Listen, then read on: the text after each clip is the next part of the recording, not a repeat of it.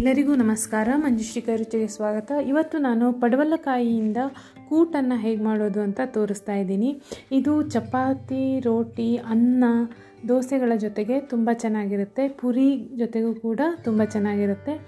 ತುಂಬ ಸಿಂಪಲ್ ಆಗಿರುವಂಥ ರೆಸಿಪಿ. ಆದರೆ ಅಷ್ಟೇ ರುಚಿಯಾಗಿರುತ್ತೆ. ಕಡಿಮೆ ಮಸಾಲೆಗಳನ್ನು ಹೊಂದಿರುವಂಥ ಒಂದು ರೆಸಿಪಿ. ಹೇಗೆ ಮಾಡೋದು ಬನ್ನಿ ತೋರಿಸ್ತೀನಿ. ಇಲ್ಲಿ ನಾನು ಕಡಲೆ ಬೇಳೆಯನ್ನು ತೊಗೊಂಡಿದ್ದೀನಿ. ಅದಕ್ಕೆ ನೀರನ್ನು ಹಾಕಿ ಸ್ವಲ್ಪ ಅರಿಶಿಣ ಮತ್ತು ಎಣ್ಣೆಯನ್ನು ಸೇರಿಸಿ ಒಂದು ಮೂರರಿಂದ ನಾಲ್ಕು ವಿಸಿಲ್ ಹಾಕ್ಸಿದ್ದೀನಿ. ಕಡಲೆಬೇಳೆ ಪಿಚ ಪಿಚ ಅಂತ ಬೇಯೋದು ಬೇಡ. ಸ್ವಲ್ಪ ಮೆತ್ತಗಾಗಿ ಬೆಂದರೆ ಸಾಕಾಗುತ್ತೆ. ಕಡಲೆಬೇಳೆ ಹಾಗೆ ಇರಬೇಕು, ಆದರೆ ಬೆಂದಿರಬೇಕು. ಈಗ ನಾನು ಮಸಾಲೆಯನ್ನು ರುಬ್ಕೊಳ್ತಾ ಇದ್ದೀನಿ. ಅದಕ್ಕೆ ಹಸಿ ತೆಂಗಿನ ತುರಿ, ಸ್ವಲ್ಪ ಜೀರಿಗೆ ಸ್ವಲ್ಪ ಕಾಳುಮೆಣಸು ಹಾಗೂ ಹಸಿಮೆಣಸನ್ನು ಹಾಕಿ ನುಣ್ಣಗೆ ರುಬ್ಬಿ ಇಟ್ಕೊಂಡಿದ್ದೀನಿ. ಹಸಿಮೆಣಸು ನಿಮ್ಮ ಖಾರಕ್ಕೆ ತಕ್ಕಷ್ಟು ನೀವು ಹಾಕ್ಕೊಳ್ಳಿ.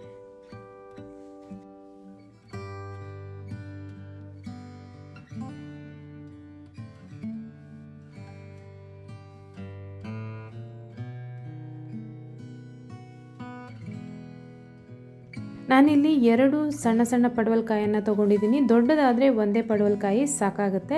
ಅದರ ಬೀಜವನ್ನು ತೆಗೆದು ತೆಳುವಾಗಿ ಉದ್ದುದ್ದಕ್ಕೆ ಹೆಚ್ಚಿ ಇಟ್ಕೋಬೇಕು. ನೀವು ಬೀಜವನ್ನು ವೇಸ್ಟ್ ಮಾಡೋ ಅಗತ್ಯ ಇಲ್ಲ. ಅದರ ಚಟ್ನಿ ಕೂಡ ಮಾಡ್ಕೋಬೋದು. ನನ್ನ ಚಾನೆಲಲ್ಲಿ ನಿಮಗೆ ಸಿಗುತ್ತೆ. ನೋಡಿ.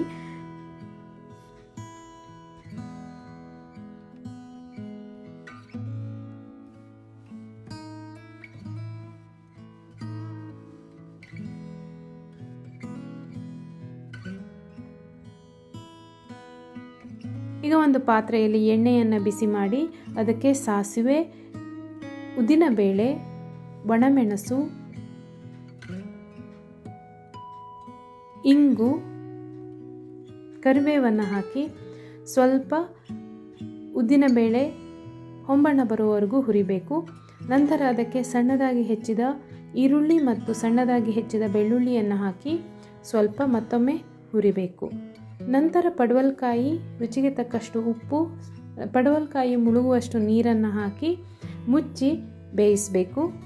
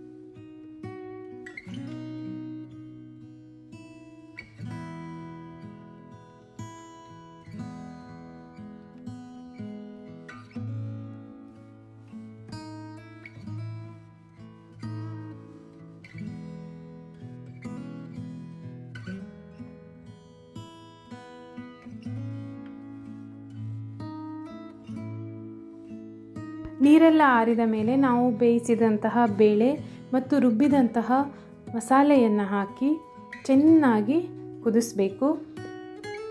ಕುದಿಸೋವಾಗ ನೀವು ಉಪ್ಪನ್ನು ನೋಡ್ಕೊಳ್ಳಿ. ಉಪ್ಪು ಬೇಕು ಅನಿಸಿದ್ರೆ ಇನ್ನೊಂದು ಸ್ವಲ್ಪ ಉಪ್ಪನ್ನು ಹಾಕ್ಕೊಳ್ಳಿ ನಾವು ಮೊದಲು ಹೋಳು ಬೇಯುವಾಗ ಉಪ್ಪನ್ನು ಸೇರಿಸಿದ್ದೀವಿ ಸೊ ನೋಡಿಕೊಂಡು ಹಾಕ್ಕೊಳ್ಳಿ ನೋಡಿ, ಬೇಳೆ ಇಷ್ಟು ಬೆಂದರೆ ಸಾಕಾಗುತ್ತೆ. ತುಂಬ ಪಿಚ ಪಿಚ ಅಂತ ಬೇಯೋದು ಬೇಡ ಅಷ್ಟು ಚೆನ್ನಾಗಿ ಇರೋದಿಲ್ಲ. ಕಡಲೆಬೇಳೆ ತಿನ್ನೋದಕ್ಕೆ ಬಾಯಿಗೆ ಸಿಕ್ಕಿದ್ರೆ ತುಂಬ ಚೆನ್ನಾಗಿರುತ್ತೆ.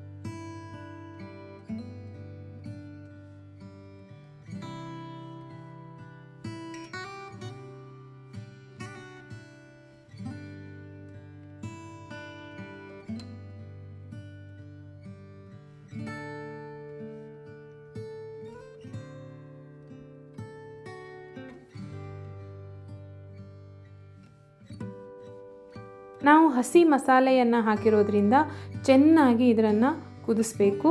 ಕುದಿಸಿ ಅದು ಸ್ವಲ್ಪ ಗಟ್ಟಿಯಾಗುತ್ತೆ.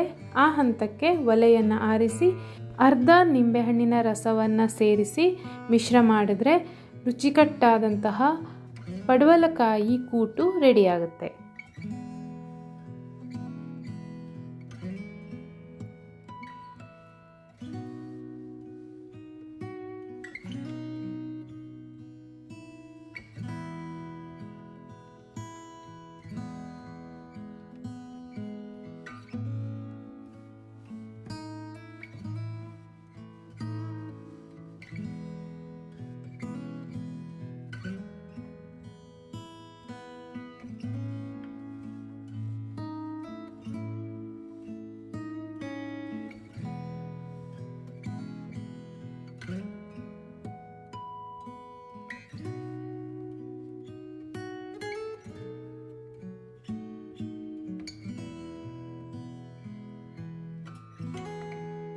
ನಿಮಗೆ ವಿಡಿಯೋ ಇಷ್ಟ ಆಗಿದ್ದರೆ ಪ್ಲೀಸ್ ಲೈಕ್ ಮತ್ತು ಕಮೆಂಟ್ ಮಾಡಿ. ಹಾಗೆ ನನ್ನ ಚಾನಲ್ಗೆ ನೀವು ಹೊಸಬರಾಗಿದ್ದರೆ ಸಬ್ಸ್ಕ್ರೈಬ್ ಮಾಡ್ಕೊಳ್ಳಿ.